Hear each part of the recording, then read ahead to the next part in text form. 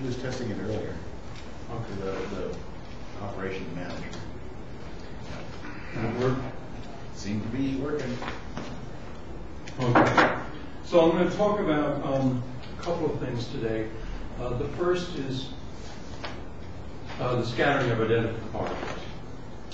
And then, um, and then I'm going to say some things about the eikonal approximation, which um, is something that uh, Lloyd uh, invented and um, and in fact, probably the best, almost certainly the best place to learn about the eikonal approximation is Glauber's original papers, um, because he's one of the one of a handful of physicists who actually writes with the intention of somebody reading the paper and learning what, the physicist had in mind. Uh, that's something extremely rare and it's apparently getting worse. He's also literate, which is also rare. All right, so we're talking about the scattering of identical particles.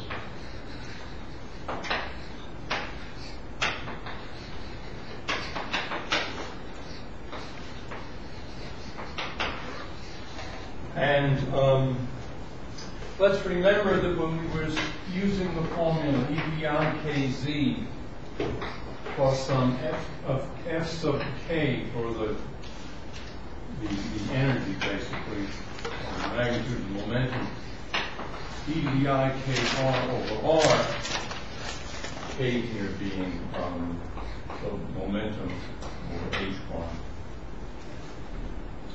What we had in mind here was that z was actually equal to z1 minus z2, and that r was the length of r1 minus r2.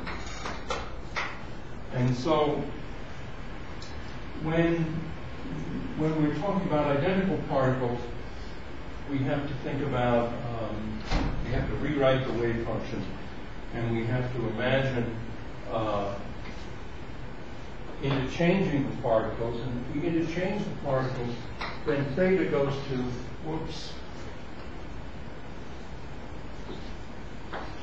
pi minus theta, and phi goes to phi plus pi. So that's what happens when you have a particle here. This is probably going to be a terrible drawing. Um, this is theta, and when you switch, this is the relative.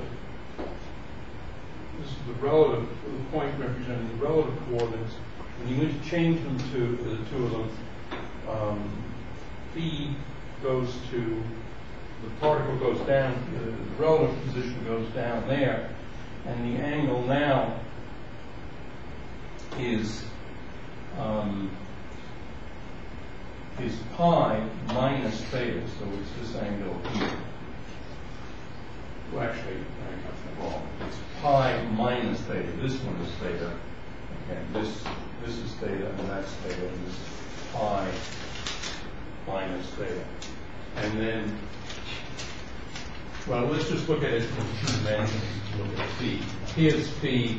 We just add two pi to phi, and we get phi in pi. Correct we had pi to phi, thank you, and we get the opposite direction. With theta, um, it looks a little better like this, again in two dimensions. This is theta, and, um, and so instead of having that be theta, now this is the, is the reversed theta, and this angle, this is also theta, and so this angle here is pi minus theta. That's a better way of doing it. All right, so what, um, what do we want then? Well, instead of looking at this uh, simple picture, what we want to do is consider something that looks like this. e to the i kz plus e to the minus i kz plus e to the i kr over r times fk of theta in phi. Um, now, here I'm considering the case of symmetric. I should, have mentioned that. Let's, consider first the case of the scattering of two identical spinless particles. Since they're spinless, the space wave function has to, the spin wave function has to be symmetric. And uh, since they're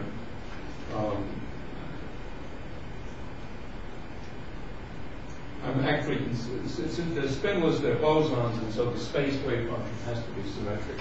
And so what we have is this, f k of pi minus theta phi plus. Okay, so that's, that's what replaces this, apart perhaps from some, for some normalization. And so the differential scattering cross-section d sigma d omega is proportional to Uh, fk of theta phi plus fk of pi minus theta phi plus phi absolute value squared. So it looks like that. This is for, let me just repeat, two spin zero identical terms.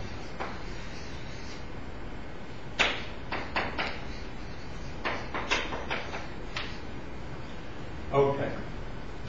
So we then just expand that out. And there are two normal terms, sk of theta and absolute value squared, fk pi minus theta, phi plus pi, absolute value squared. And then there's the cross term. And you can write the cross term as fk theta phi times fk star pi minus theta phi plus pi plus fk theta phi star fk of pi minus theta phi plus pi. So those are the expressions And that gives us the d sigma omega. Is fk of theta and phi squared plus fk of pi minus theta phi plus pi squared plus twice the real part of fk of theta and phi fk star of pi minus theta phi plus pi. Okay, so that's what we have as our, um, as our differential scattering cross-section. Now suppose, as is usually the case, that the, uh, scattering amplitude has no dependence upon the variable, upon the angle phi. Um, in that case, what you have is something simpler. You have d sigma d omega is fk of theta squared. In fact, plus fk of pi minus theta squared plus twice the real part of fk of theta fk star of pi minus theta. Now, at the angle theta equal to pi over 2,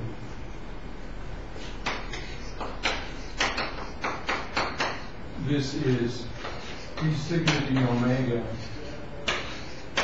equals twice fk pi over 2 squared plus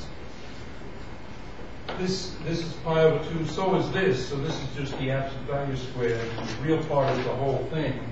So it's pi plus 2 fk of pi over 2 squared, which is all altogether 4 fk of pi over 2 squared. So there's a, there's a, there's constructive interference because the particles are identical at 2. Now, of course, it could be that the scattering amplitude pi over 2 is zero, in which case you don't see any enhancement at all. But what you expect is that, so here we have, in fact, the best way to describe this is sort of a colliding beam description, and uh, that's why this sort of make sense for colliding beams. And in fact, in really high energy accelerators, like the LHC and the Large Electron Positron Collider and the Fermilab Collider, they all are colliding beam machines with equal energy. There was one in Germany called Hera or something, has unequal energy. Well, it's electron proton. Anyway, to start with the tangent. So what you expect then is some enhancement in uh, at pi over 2 uh, if you have um, a space wave function that's symmetric for some reason. And the space wave function, uh, the, the easiest way for it to be symmetric is for, for you to have uh, a case where the particles are spin zero. And, uh, and so the bosons and uh, the space part has to be symmetric. So the spin, the, the spin part has to be symmetric with there is original. So the space part is symmetric. Okay, let's now uh, consider Um, the scattering of spin one half particles. And let me erase the board. Any questions about this? It's it, it, it's certainly true that the treatment would be a lot simpler if we hadn't adopted relative coordinates in the very beginning. So that's that's something that made the whole treatment a little bit confusing. In fact, ideally, um, an ideal pedagogical treatment would first do the scattering of identical particles, and then uh, then start using relative coordinates. Anyway. All right, now suppose we instead have uh, two spin one half particles. And now suppose the initial state is uh, uh, spin polarized.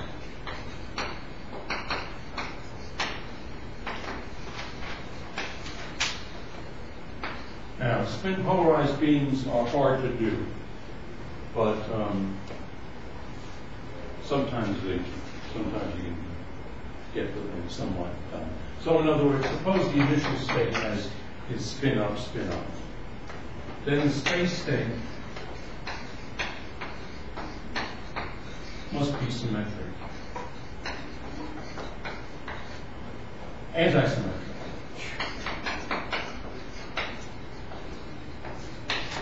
And anti-symmetric because, of course, the whole wave function must be anti-symmetric. So now what do we have? Now what we have is d sigma d omega. And I'm going to talk to my notes a little bit. Let me let me suppress the phi dependence. Well, I'll keep it for a little while and then suppress it. So what we have is fk of theta and phi minus fk is pi minus theta pi plus pi absolute squared. And so this corresponds to have k of theta and phi squared plus plus fk pi minus theta pi plus pi squared. And now we get a minus sign, minus twice the real part of fk of theta and phi, fk star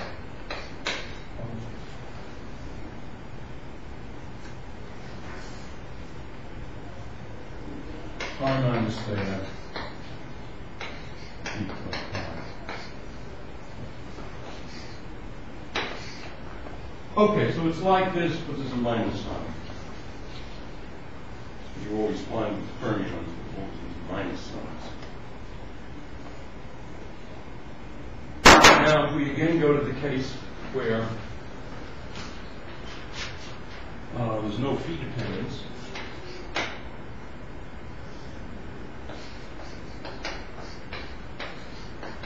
So, as usual, it's usually true that there isn't any phi dependence. Depends on the volume P. In that case, um, what we have is d sigma d omega is, let me, let me suppress the k.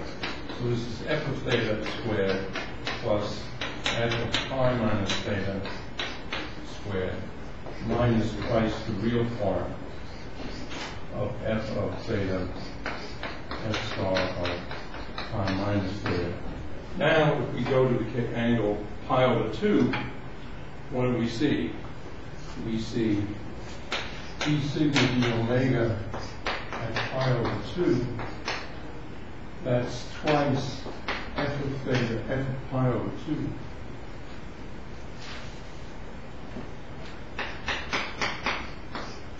Because of course pi minus pi over 2 pi over 2. So that's that. And then we have minus twice the real part of f of pi over 2 absolute value squared. We get zero. Cross section actually vanishes. And um, so we should see,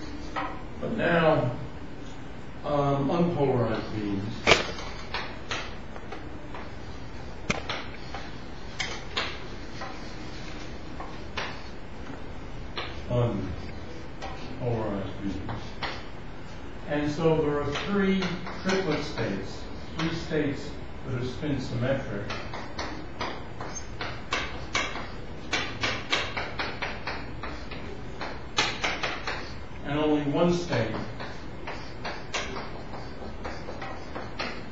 that is antisymmetric.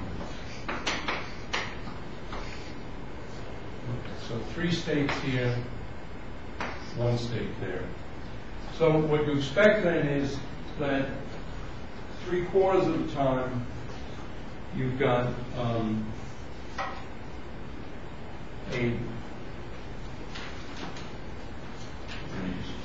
All these notes together, this one's really like notes.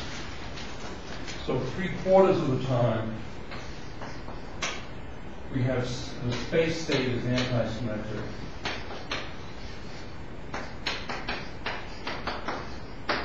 And one quarter of the time, space state is symmetric.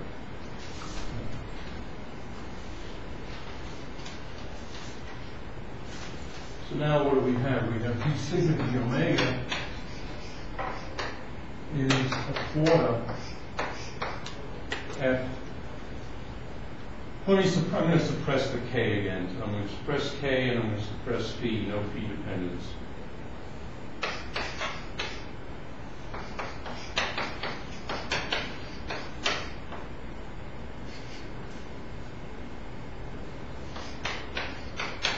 Plus three quarters f of theta minus f of pi minus theta. Okay. And what do we get?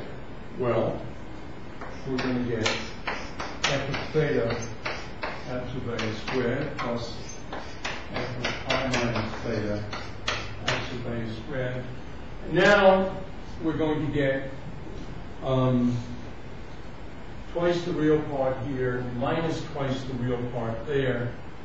So that's going to be, um, uh, one half minus three halves, and so that's just simply minus the real part of f of theta, f star of pi minus theta.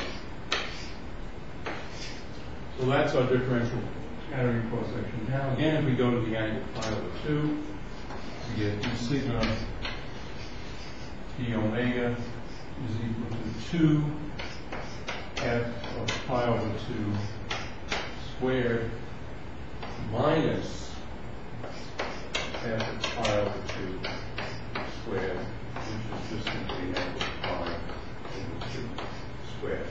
So we get, uh, we get a reduction, we get some destructive interference, but not as much as in the plane, as in the spin polarized case, in which case the wave function had to be, anti- space wave function had to be anti-symmetrical.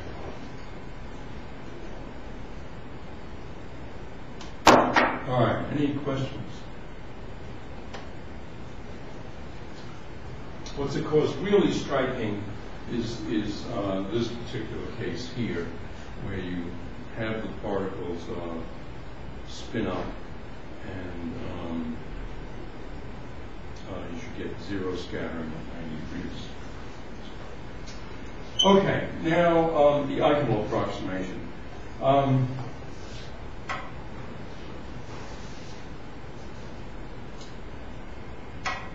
This approximation is based on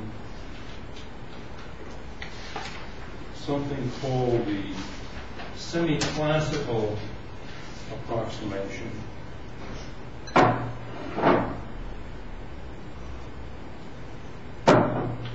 By the way, um, in addition to those crackers, I do have chocolate. Um, so, uh, questions or corrections are, worth pieces of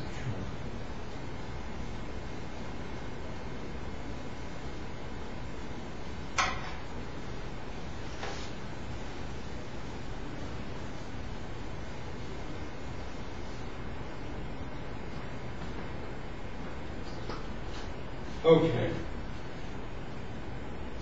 So first of all, where do you apply this? Well, the first thing is that you have to be able to use this um, approximation where the wave function s of x goes as e to the i s of x over h bar. This is kind of the leading term in the path integral. The actual path integral is well, an integral over all sorts of trajectories, and it's e to the i s where x is the final point and um, an x initial, and, and then we integrate over some x initial and some side initial of x, and then one over h bar. So that's the exact uh, technical formulation. We're going to approximate it uh, by using um, just, just one term in the action. When is this approximation valid? Well, it's basically valid at high energies when 1 over p, which is lambda bar, is much less than the potential divided by the gradient of the potential. And we want E, the energy, to be much greater than the magnitude. So this, this is something that works at high energy and um, weak potential. So what is this, uh, what is the equation for S? The equation for S is the Hamilton-Jacobi equation. Grad S squared over two M plus V is equal to E, which is H bar squared K squared over two M. And so that means the grad S squared is equal to h bar squared k squared minus 2mv. And um, so we can say the ds of x with respect to z, we're taking the square root of this, is the square root of h bar squared k squared minus 2m here the, the idea is that X is some impact parameter B plus Z times Z hat. And the, the, the potentials of short range, so B, B has to be small. Now Z goes to be big because Z goes from minus infinity to plus infinity. The idea is the particle goes past the uh, scattering center, uh, and the distance closest approach is uh, magnitude b. Um, well, then we can integrate this uh, this action, and we get s of x over h bar is an integral from minus infinity to z dz prime k squared minus 2m over h bar squared. So we squared this thing in words. Uh, over h bar squared um, v of b squared plus z prime squared. And then plus some constant. Now, um, I'm really puzzled as to, oh, we pulled out the, we divided by h bar, that's why the, so that's all right. Oh, and this is, hold on, this is the one half column. One half square root. Okay, now we're going to assume that v is small, and so we're going to expand that, and um, we're going to expand the square root. Effectively, what we do is we've got this k is huge and v is small, and so what we do is we write this as minus infinity to z, to z prime. We pull out a k, and then we have the square root of 1 minus 2m over h bar squared k squared v of square root of b squared plus c prime squared in one half and then plus c. Now we expand the square root and we're limit of very high k.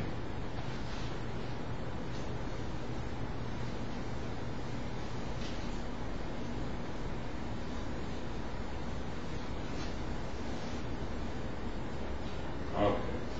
And when we that, we get, I'm going to use some of this board here.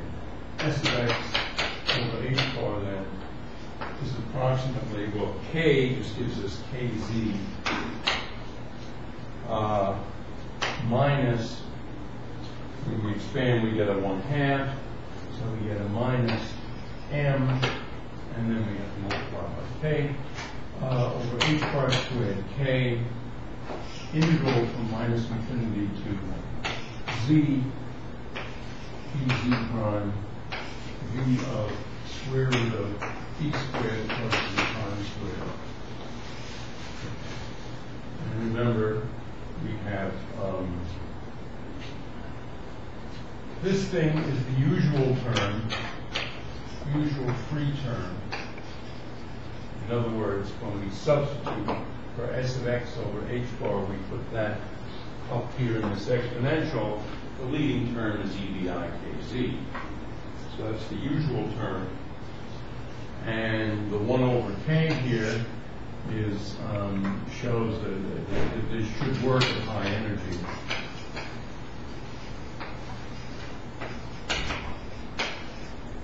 Okay. So that's our, um, that's our situation here. Okay, so in other words, our wave function psi of x is approximately e to the i k z e to the minus i m over h bar squared k integral minus infinity, minus infinity to z um, v of square root of b squared plus t prime squared And if we imagine, we imagine that the high energies, this is small, and so this is going to give us um, uh, e to the i k z. Um, the leading term is e to the i k z. Okay. So, now, what do I want to compare this to? Well, let's look at what the scattering cross-section is. Scattering, and let me, instead of writing f sub k as theta t, I'm going to write it as f of k and k prime. K prime being the final direction. And the answer is minus 1 over 4 pi. Um, integral cubed x prime e to the minus i k prime dot x prime uh, e to the i k dot r and e to the minus i m over h bar squared k integral from minus infinity to z v of square root of prime squared plus b squared d prime. Okay, so this, this uh, K, KZ, I've rewritten as the initial vector K uh, dot R, and that should have been um,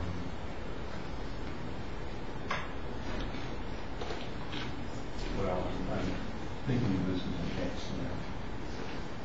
now. Anyway, it's that variable, and that variable, or it's rather, it's it's this variable, b plus z, hat. All right, what we now need to do is we need to approximate this uh, expression. And so we're going to say, um, we're going to write d cubed x I don't know why I have a prime on all these x's. D cubed, or on some of them, d cubed x I'm writing as b db d phi b tz. So phi, in other words, we've got here x like this, y comes out of the ball, and z is in this direction. Z is the direction of the incident beam. And B is some vector with points perpendicular to the z-axis. And phi is this angle here. Piece of phi. Okay, and now we've got here k minus k prime dot x. So this is k minus k prime dot b plus z hat.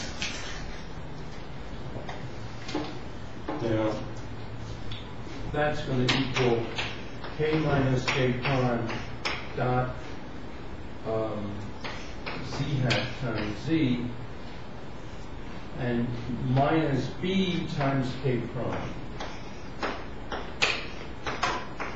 Because k is in the direction z, so k is perpendicular to b. All right, so this is equal to um, k times 1 minus cosine theta, where this is, this is k, this is k prime, this is the scattering angle theta, um, z minus k prime dot b. Okay, but theta, we're looking here in the forward direction, and in the forward direction, theta is very small. This is equal to k uh, z theta squared over 2 minus k prime dot b. I'm going to approximate this as minus k prime dot b. Now, uh, you might say, gee, z is going to get large. Well, what we're thinking of, though, is that um, this angle here, this, this value of z, um,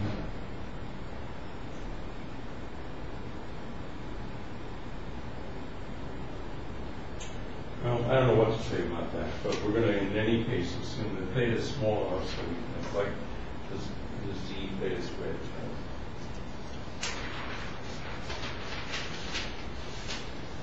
Okay, so what's k prime dot t? Well, k prime dot t is k sine theta. Oh, we're, we're, we're, we're going to look at scattering in the xz plane.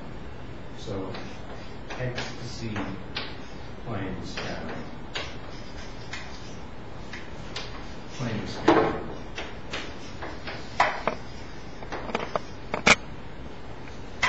That means the k prime lies in the x in the x hat.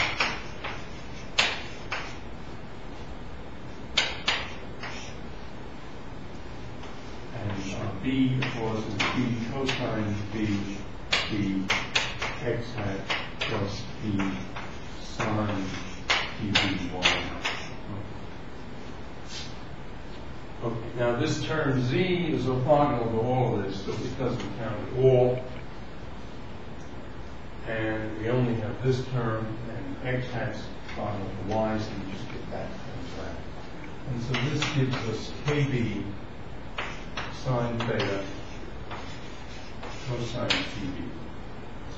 And we're at small angles, small scattering angles, so this is kb theta cos cosine dB.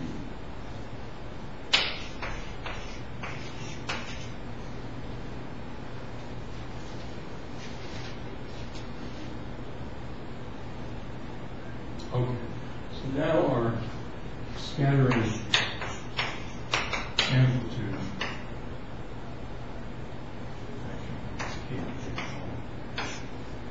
Um, remembering the,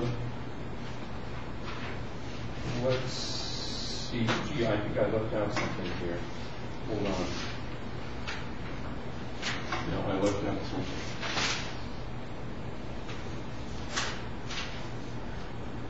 I left out something important.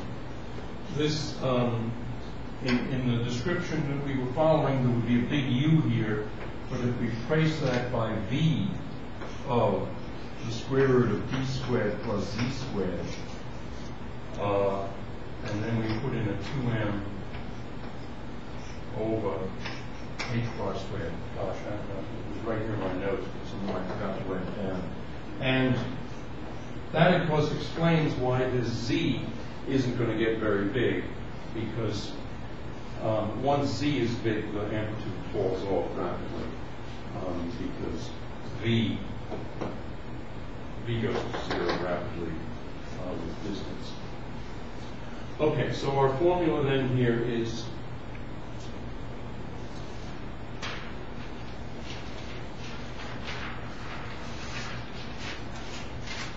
uh, minus 1 over 4 pi, 2m over h bar squared, integral 0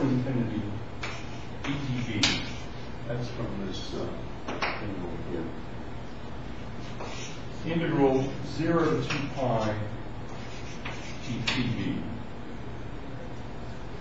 Then, uh, these two phase factors give us this term here, which then becomes that. And so we have e to the minus k b theta cosine pb. And then the rest of it is an integral from minus infinity to plus infinity dz of v of square root of b squared plus z squared e to the minus i m over h bar squared k integral minus infinity to z v of square root of b squared plus z prime squared dz prime.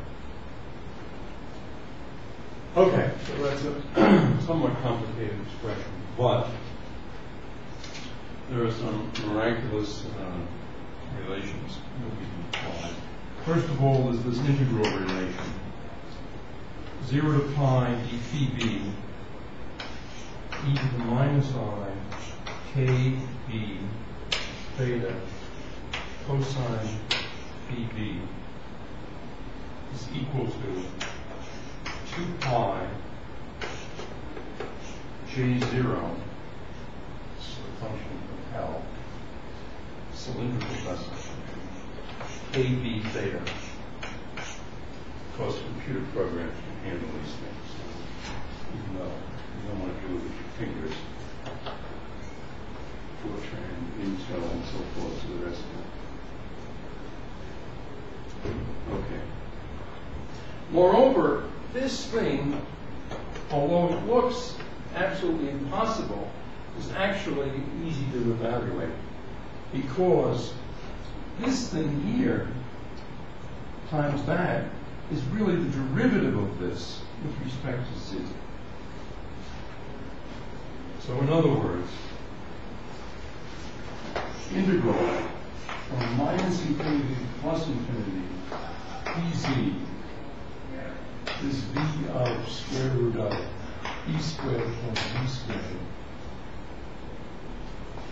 e to the minus im over h bar squared k integral minus infinity to z v of square root of e squared plus z prime squared dz prime is equal to an integral from minus infinity to infinity dz of i h bar squared k over m d by dz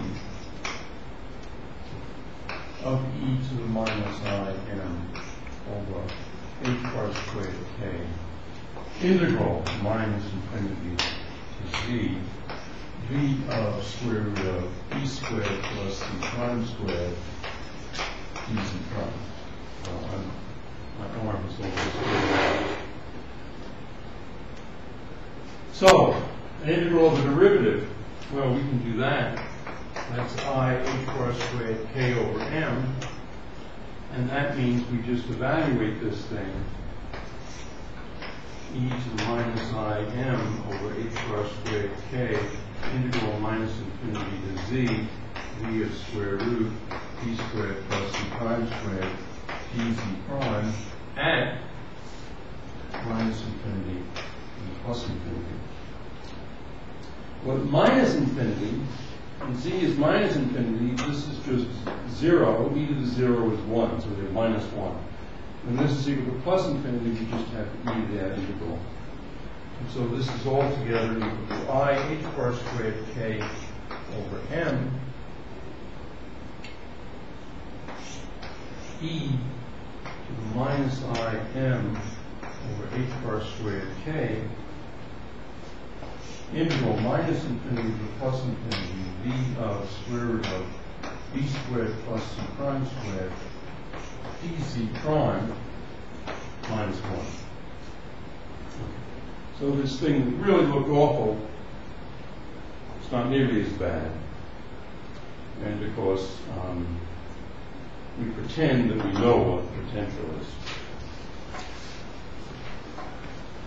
In any event, that's the expression, whether we know the potential or not.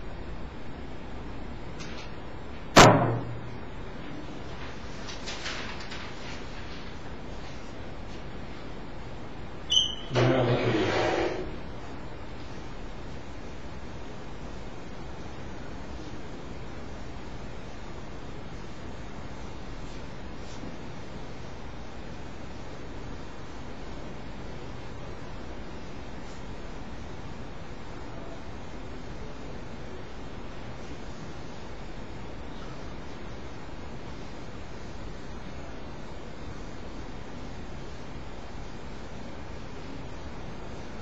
Alright. So, do we? Need to take this answer and put it back in here. We have to- this identity for two pi and the uh, zero cylindrical Bessel function. Put it in there. And what we get is f of k and k prime e minus one over four pi two m over h bar squared equals zero to infinity e db two pi to zero of kb theta i h bar squared k over m. Now what we're going to do is we're going to define delta of b as minus m over 2k h bar squared. In other words, it's going to be one half of this phase, essentially, one half of this angle. Integral minus infinity plus infinity v of square root of b squared plus z squared dz. So this, this is b. What we have here is uh, e to the 2i delta of b minus 1. b, remember, is the impact parameter. And altogether then, that is equal to minus ik integral 0 to infinity t db j 0 of kb theta e 2i delta b minus 1. Okay, so that's, that's the eikonal approximation. This gives then the scattering angle, scattering amplitude for um, wave number k, angle theta. We're integrating over impact parameters. Um, we expect only small impact parameters to be important, and that's governed by this thing, because when delta is small, this is just 1 minus 1. Delta depends upon v of the square root of b squared plus c squared. And, um, okay, so that's, that's the approximation. As I said, if you, um, if you want study this more, I'd recommend Robert's original papers. And in fact, he, he, he invented this back in the 50s at some point. And um, then every, he came back to it several times as the physics changed, the accelerators improved, and there was a new uh, energy range. He'd bring this formalism out and uh, write some more papers. Um, I would, well, I don't know if he's going to be doing it for the LHC, but he, I think he was doing it for the Tevatron. All right, any questions about this?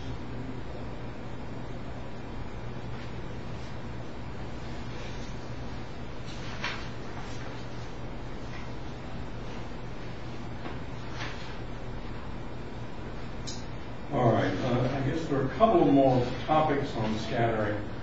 Um, see, the trouble with scattering theory, as I said to you before, is that when you change the, um, basically change the energy or the underlying theory, the formalism of scattering theory, the equations, the look of everything changes a lot. And um, so there are many, many different scattering theories. And um, we'd be here forever if we were, if we wanted to examine all of them. So I think we, we need to leave this subject soon. What I may do is assign some more of it as homework problems. Um, we have a few minutes left, though, and I think what I'll do is I'll give you another look at um, scattering theory. This is a formalism that was developed by, in fact, Glauber's uh, thesis advisor, Julian Schwinger, and uh, I assume it was his student, Lippmann. Anyway, it's called the Lippmann-Schwinger formalism. And um, all right, so let me just describe it to you. So this, this is a more sophisticated uh, approach to scattering than the one that I used from the beginning, uh, that was based basically on Cohen-Tannoudji's approach. So again, we're going to say h is h0 plus v, and we're using relative coordinates again. Um, and so h0 is uh, p relative squared over twice. I'm going to just use m. m, of course, is actually the reduced mass.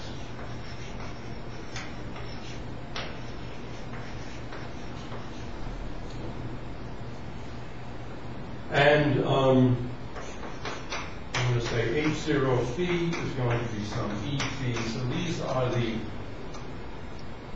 just the plane wave states. These are complete.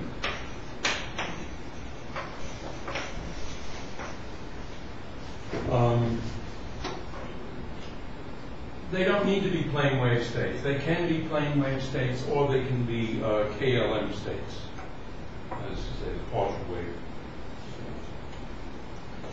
Thing that we want is to solve is h0 plus v times some psi is equal to e psi.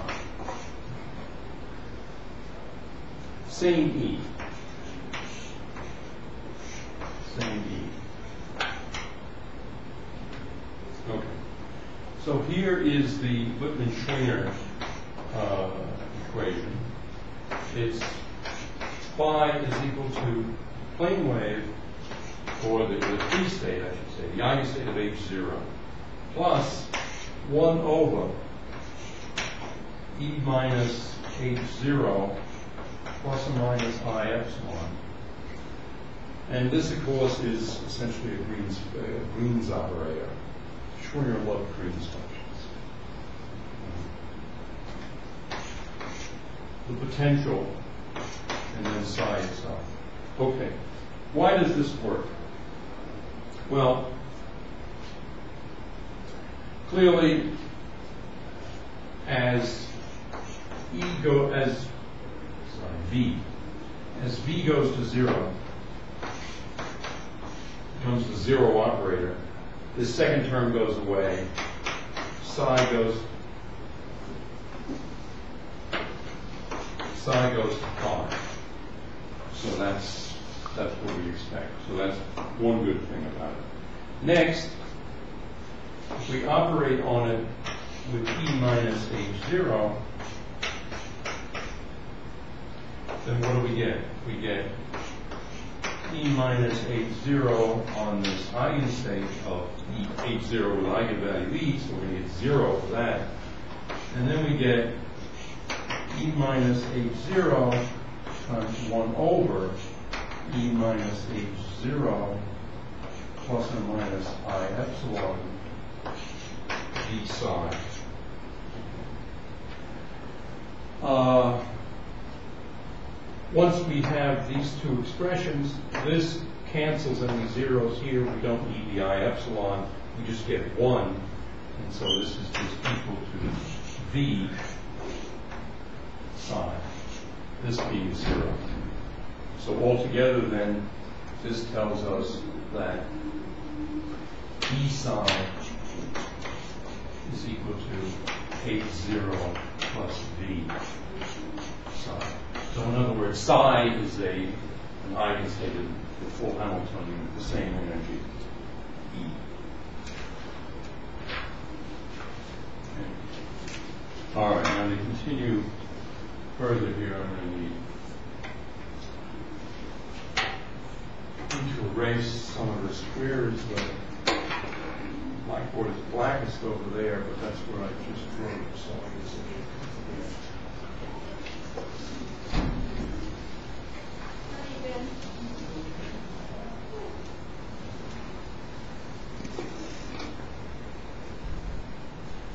So what I'm going to do today is I'm just going to run out the clock for Lippmann-Schwinger. As far as we get, well, that'll be it. Don't think I want to continue the Lippmann-Schwinger thing. We can go a little bit further. Okay, let's take the inner product with uh, the position operator of the and Schwinger equation. So the position operator, uh, Oh, I should have said that because of the plus or minus here, we're going to distinguish them with a plus or minus on side.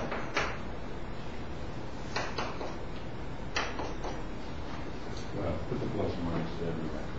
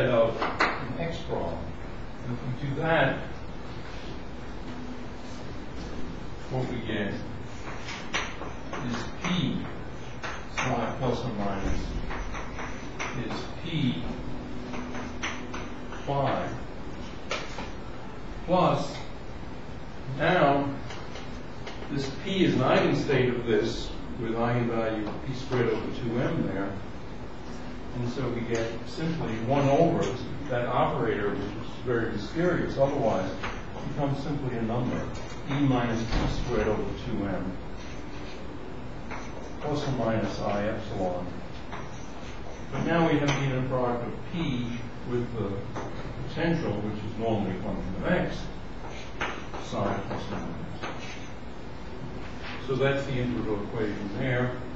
And um, this thing, if phi, it's, it itself will be uh, one of the p states typically, and uh, in that case, this will be a delta function of uh, p minus p prime. Now,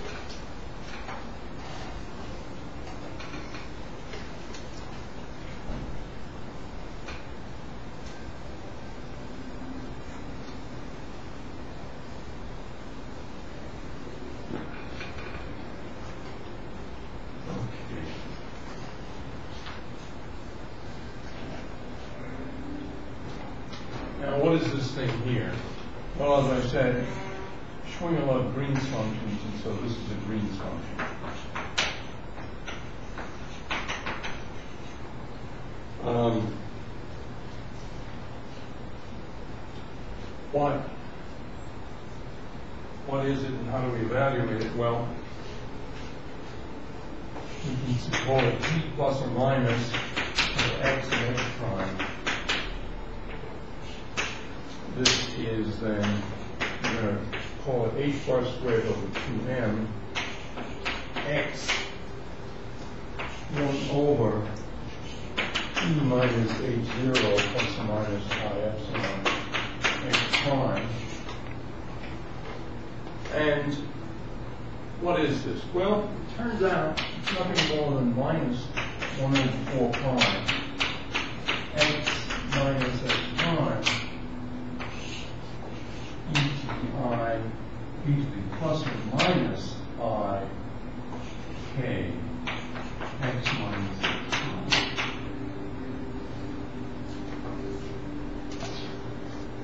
Okay, um, now why is that the case?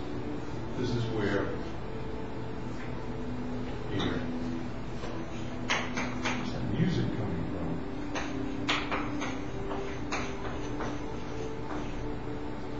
Am I hearing? I think they're playing a movie on the front. I see.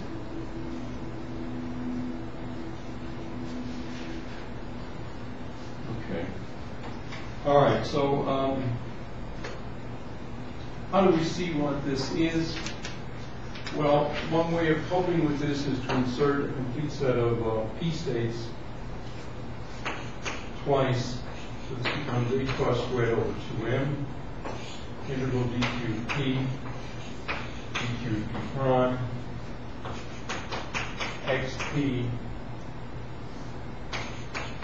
p 1 over e minus h 0 plus or minus i epsilon p prime p prime x prime. Now just using the fact that this is e to the i p dot x over h bar or from the normalization factor, uh, keeping track of the normalization factor, h bar squared over 2m 1 over 2 pi h bar cubed. Uh, It turns out that because this operator here is an eigen, the- these states on the left and right, left and right, are eigenstates of uh, this, of H0 and therefore of this, of this Green's operator. And so this just gives us uh, a delta cubed of p minus p prime. And so we wind up with simply one integral. dqp, we have an e to the i p x minus x prime over h bar from the four and a half functions. And this thing here becomes a denominator e minus p squared over 2m plus or minus i, i epsilon. Okay, let's see how much time we have. Um, well, what you do is you let the z-axis, you, you, you choose the pz axis to be the x minus x prime direction. You choose that to be the pz axis. And then, then this turns out to be 1 over 2m, 2 pi squared, h bar, integral 0 to infinity, integral minus 1 to 1, d cosine theta, e to the i p, x minus x prime, cosine theta over h bar, p squared dp over this denominator, e minus p squared over 2m plus minus i epsilon. And uh, the d cosine integral is easy to do. And um, then I'm going to skip a couple of steps. They're in the online notes. I'm going to write P as H bar Q. So now, we're able to reduce this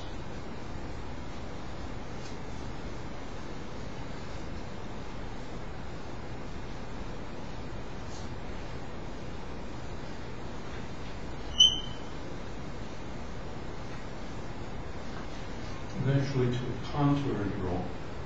So I've got to hurry up. Um, okay, we're there. This then turns into the following. P plus or minus of x x prime is minus one over two pi x minus x prime. So in other words, after you do the first integral, the d cosine integral, you get two, um,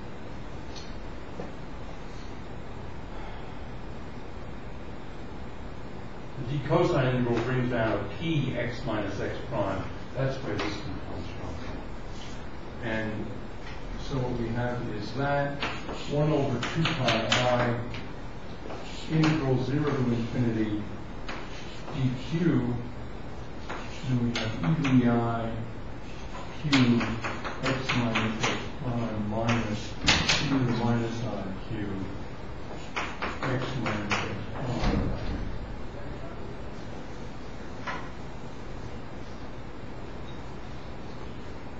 Q.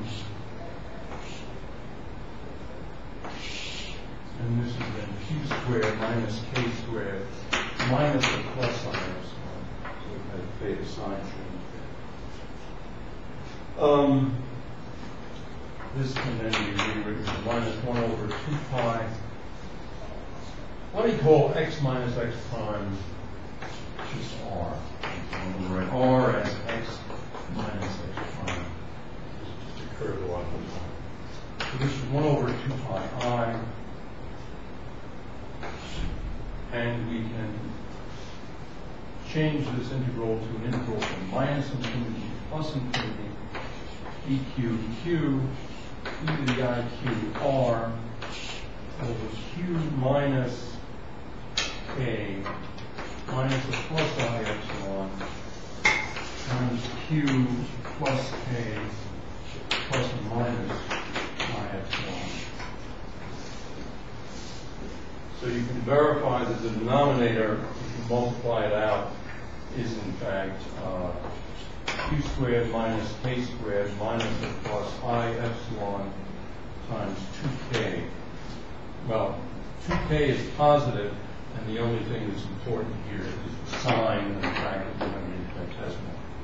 So this is really an epsilon prime here.